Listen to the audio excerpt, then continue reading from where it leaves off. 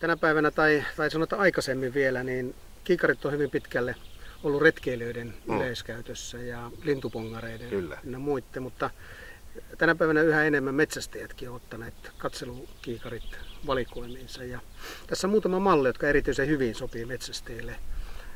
Yksi on esimerkiksi tämä, tämä kiikari, joka on kooltansa pieni, silti erittäin tehokas.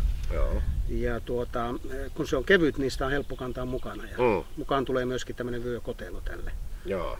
jolla, jolla pystyy sitten tarkkailemaan luontoa kautta saaliseläimiä. Kahdeksankertainen suurennus siinä. Kyllä näkee hyvin. No niin, metsästäjille mielenkiintoinen uus, uutuus on tämmöinen pienoiskaukoputki, joka on erittäin kevyt ja mukana tulee tämmöinen äh, vyökotelo. Että kulkee kätevästi, Ahaa. kätevästi mukana vaikka siinä kännykän vieressä sitten ja ajaa kuitenkin ihan kiikarin asemaan. Että pystyy tarkkailemaan, tarkkailemaan hyvinkin, Joo, missä sitä riistaa on. On todella tarkka kuva tässä. Tää on todella tämmöinen pieni ja... Joo. Kahdeksankertainen suurennus ja ajaa ihan saman asian kuin, kuin tällainen normaali Joo. katselukiikarikin. Kyllä. Siitä sitten kun mennään tehokkaimpiin ja suurempiin kiikareihin, niin tämä on ehkä, ehkä tuota, niin kuin yleisin metsästäjien käyttämä malli.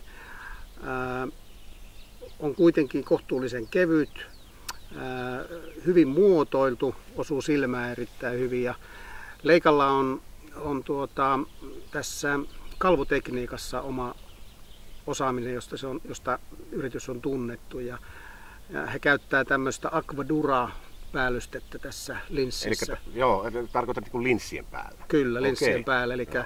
eli kun siihen tulee esimerkiksi vettä, niin se liukuu siitä Joo, joo. saman tien sivuun, ettei muodostu pisaroita tuohon Joo, joo. linssin, linssiin. Onko nämä vesitiivit? Kyllä.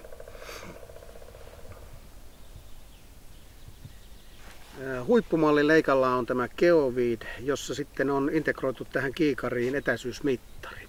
Ahaa. Leika on edelläkävijä tuossa lasertekniikassa ja, ja tuota, tähän, tähän malliin on sitten uitettu tuo etäisyysmittari, jota kyllä saa myöskin erikseen.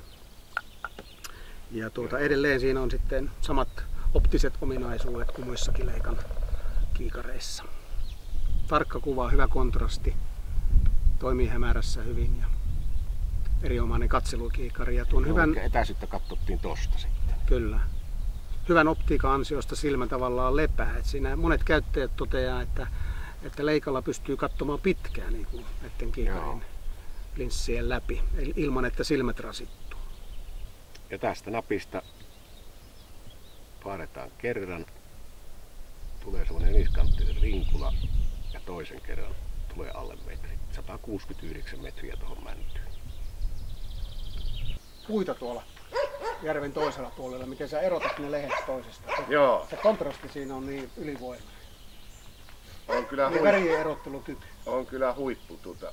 Ja sitten se niin kuin ero huonompiin kiikareihin korostuu, mitä hämärämmät olosuhteet.